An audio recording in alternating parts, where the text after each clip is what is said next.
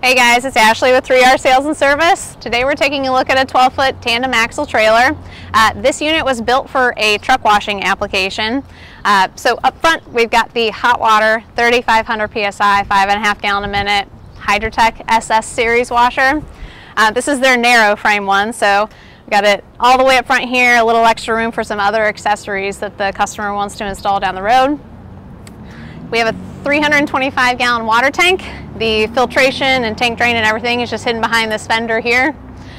We have three 35 gallon tanks. The first one is for antifreeze and the other two are for soap. Um, whenever it's warm enough outside and you don't need an antifreeze system, you can use this extra tank here as a soap tank and draw from three different detergents. Uh, around back, we've got three separate hose reels this first one is going to be an air reel. They're going to put a compressor on here and be able to fill truck tires and everything while they're doing their washing.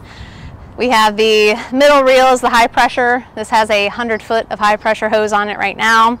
Um, attached, you can see we have, this is one of our foam wand assemblies. Since they're doing a lot of trucking, they wanted to be able to have the foam detergent on there.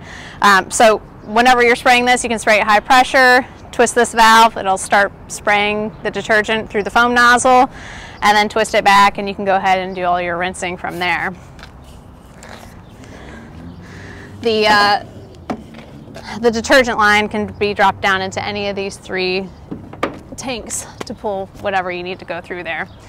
This last reel is your inlet hose reel. This has 50 feet of three quarter inch hose on, our, on it right now. It'll easily hold 100 feet. And then you can just kind of get a view from the other side here. We have a couple of the uh, stainless steel Mosmatic wand holders. Other side of the water tank here and then towards the front you can get a view of the other side of the pressure washer, the Honda engine on there. So if you have any questions on this one, just give us a call. Thanks.